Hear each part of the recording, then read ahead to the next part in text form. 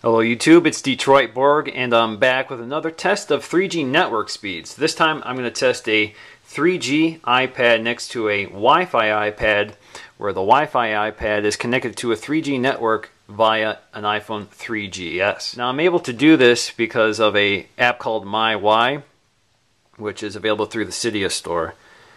And as you can see I have it running right now and the network that the iPhone is using is 3G. You can see it up here. So right now I'm tethered to it.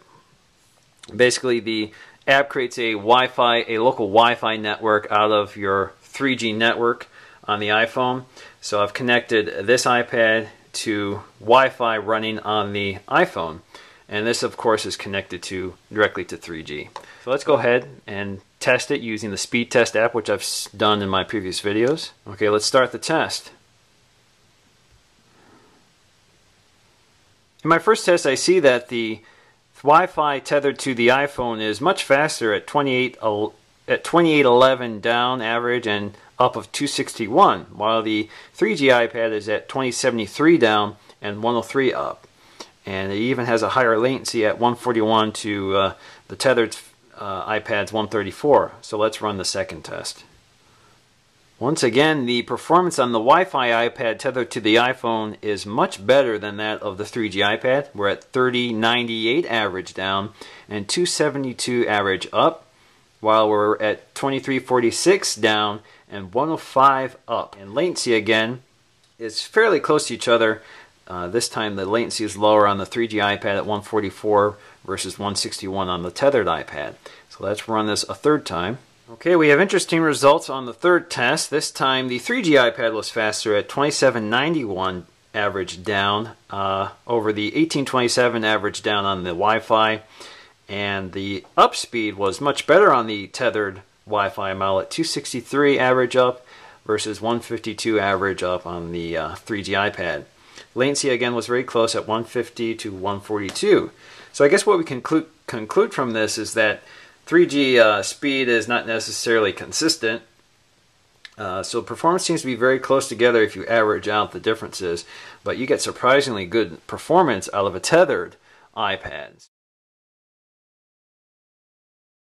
Let's try loading some pages in Safari. Um, once again, we're going to do the Apple page. So let's see if I can do this at the same time again.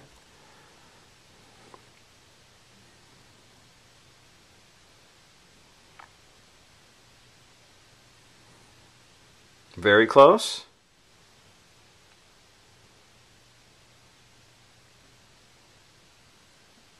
Once again, very close.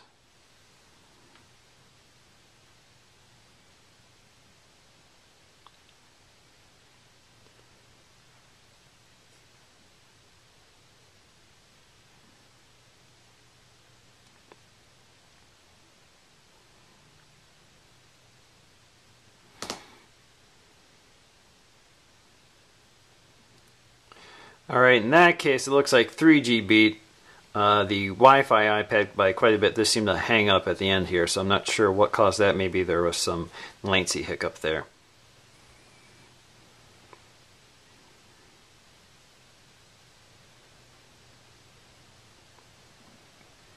Once again, the 3G iPad was slightly faster. Let's do TwitPad.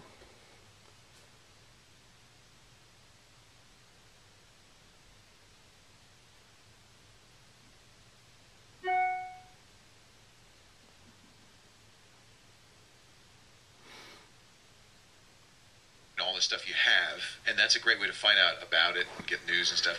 And you can put in the stuff you want, which is kind of cool. All right, and, well, uh, yeah, I bet on the right crash, so you know, that didn't work out too well. Here, course, let's uh, let's try that one more time.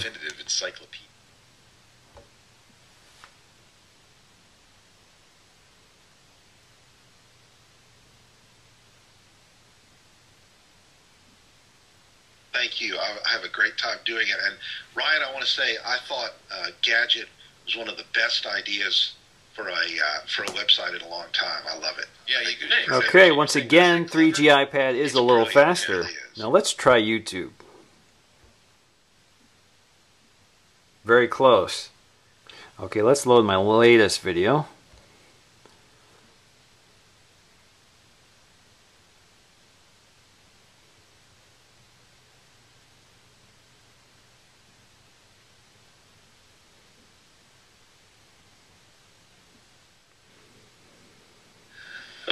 YouTube, it's Detroit Borg, and today we're unboxing an iPod Nano. So the 3G iPad is playing this already. This is still loading. This is where things get interesting. The 3G iPad, because it's running on a 3G network, YouTube has downscaled the picture quality quite a bit, while the tethered iPad thinks it's running on the Wi-Fi network, when in fact it's actually running on a 3G network. But that's enough to fool the Wi-Fi iPad to download the full resolution YouTube video. So uh, YouTube performance on the tethered iPad is going to be a lot better than YouTube performance on the 3G iPad. Now let's try the ABC player.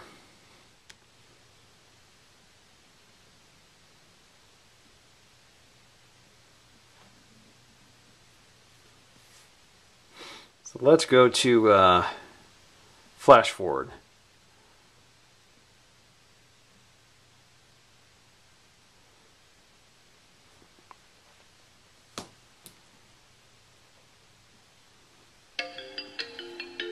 The 3G iPad seems to load just a little more quickly.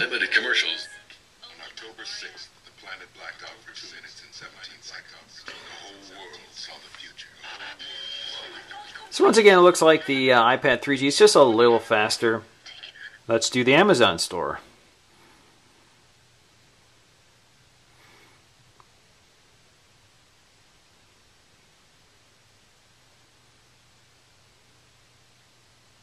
Once again, the iPad 3G is noticeably faster here while the tethered iPad is still loading.